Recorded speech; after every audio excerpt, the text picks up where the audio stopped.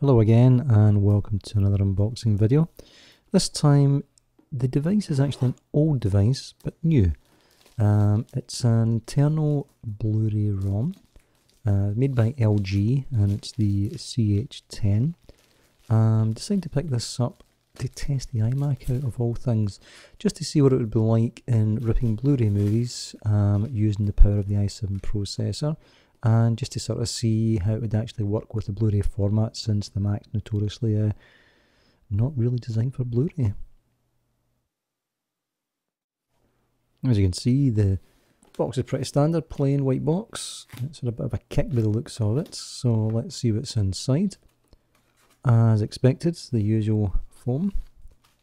We've got the packet of goodies there, since it is a retail pack, so we've got everything in there. Let's see what the unit's like.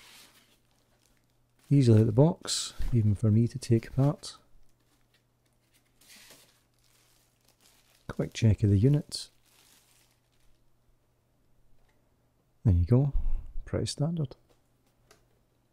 Back of it, standard SATA connectors with power. Um, so the plastic does look a bit cheap at the back, but I'm not really bothered since I won't be looking at that. Um, standard build quality, looks fine. Let's see what we get in the pack. Open it up.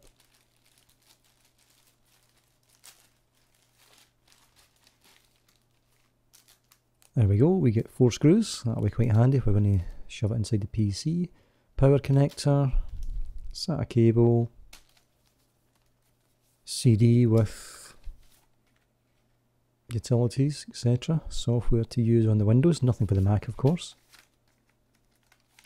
Get rid of that. Um, standard uh, instructions, warranty, and the standard bit of paper that everyone throws away and no one really knows what it is. Anyway, thanks for watching and um, watch for another movie where we do some ripping on the iMac.